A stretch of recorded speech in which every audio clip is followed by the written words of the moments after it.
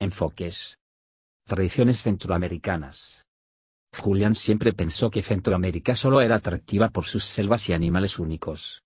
Pero últimamente ha aprendido que es mucho más que eso. En Centroamérica hay formas muy especiales de celebrar las fechas importantes. Hace poco, uno de sus amigos costarricenses lo invitó a un desfile. ¿A un desfile? Pensó Julián. Qué invitación más rara. Como su amigo lo vio tan extrañado, le explicó que con ese desfile Costa Rica celebraba el día de su independencia. Es el desfile de los faroles, que se celebra cada 15 de septiembre. El día del desfile Julián llegó cuando toda la familia de su amigo preparaba unos faroles. Vestidos con sus trajes típicos, los chicos marchan por la noche llevando faroles multicolores encendidos para recordar a los patriotas que ganaron la independencia.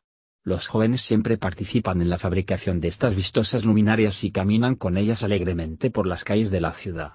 Se trata de una fiesta familiar en la que comparten incluso los niños, a quienes les encanta participar aunque no entienden mucho lo que sucede. El amigo de Julián le dijo que la luz de los faroles es símbolo de reflexión, es calor y compañía.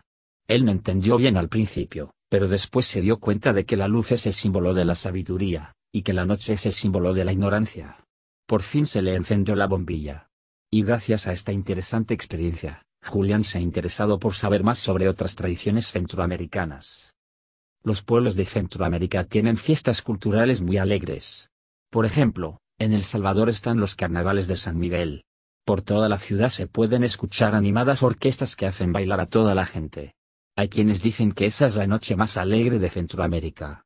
Antes de que toquen las orquestas, se hace un desfile de carrozas, o carros alegóricos, que la gente adorna con vistosos diseños y colores. La exhibición es sencillamente espectacular.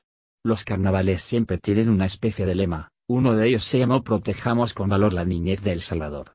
Ahora, Julián sabe que los carnavales también tienen un sentido más profundo.